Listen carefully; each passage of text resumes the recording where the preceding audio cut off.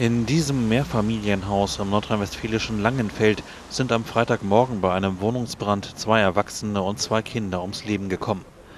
Der Brand war im zweiten Obergeschoss des Hauses ausgebrochen. Als die Retter gegen 7 Uhr vor Ort eintrafen, konnten sie das Feuer zwar schnell löschen, für die Familie, die in der betroffenen Wohnung gewohnt hatte, kam aber jede Hilfe zu spät. Ein 33 und 34 Jahre altes Ehepaar und ihre fünf und ein Jahre alten Kinder konnten nicht mehr gerettet werden.